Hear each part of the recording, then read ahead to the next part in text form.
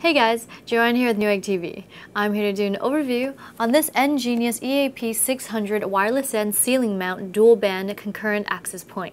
Couple of things to note before getting into the box. This AP did win the 2012 Red Dot Design Award because it looks so awesome.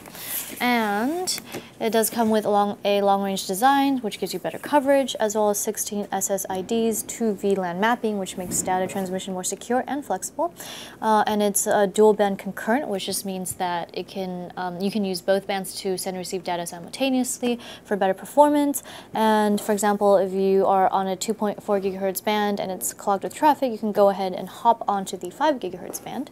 Um, uh, for if you want to transfer larger files or stream HD video or the like. And one last thing, it does come with EZ Controller, which is the software they've included.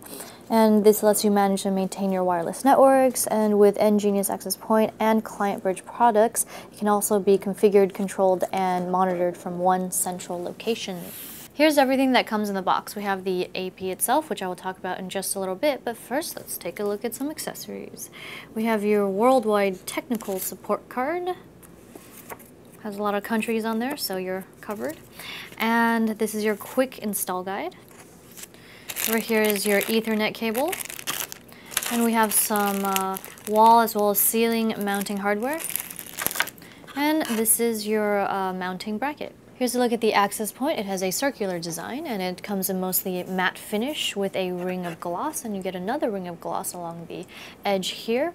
Uh, these are your indicator lights. We have your WPS, your 5 gigahertz band, 2.4 gigahertz band, Ethernet, and power.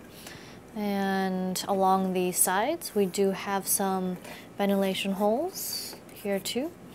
This is your uh, Kensington security slot. And here we have your two mounting points for your ceiling and wall mounts. Um, and this is your Ethernet port to connect your access point to an existing network. And finally, we have your power port. That wraps up our overview on this EnGenius EAP 600 wireless access point. I'm Joanne, and if you enjoyed this video, be sure to subscribe to our Newegg YouTube channel. Thanks for watching Newegg TV, and we'll see you next time.